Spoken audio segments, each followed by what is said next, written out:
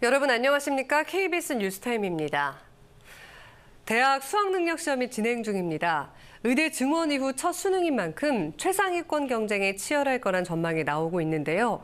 수능 출제본부는 이른바 킬러 문항을 배제하고 적정 난이도의 문제를 고르게 출제했다고 밝힌 가운데 EBS는 1교시 국어 영역과 2교시 수학 영역은 작년 수능보다 쉽게 출제됐다고 평가했습니다.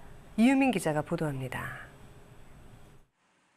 2025학년도 대학 수학능력 시험이 전국 1,200여 개의 시험장에서 진행되고 있습니다.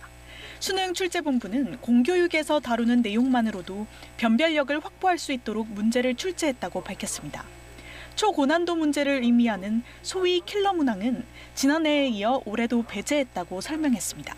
독립적으로 구성된 그 수능 출제 점검위원회의 확인을 받고 어, 문항이 나갔기 때문에 중킬러 문항도 충분히 갈라졌을 거라고 생각합니다. 출제본부는 특히 과목 선택에 따른 유불리 가능성을 최소화할 수 있도록 문제를 출제했다고 거듭 강조했습니다. 또 비교적 어려웠던 6월 모의평가와 평이했던 9월 모의평가의 특성을 분석해 사교육 없이도 풀 수 있는 수준으로 난도를 맞췄다고 설명했습니다. EBS 수능 교재와 강의의 영역별 연계율은 문항수를 기준으로 50% 수준이라고 밝혔습니다. 출제 경향을 분석한 EBS는 1교시 국어 영역에 대해 올해 9월 모의평가의 출제 경향을 유지했다며 작년 수능보다는 쉬운 수준이라고 평가했습니다.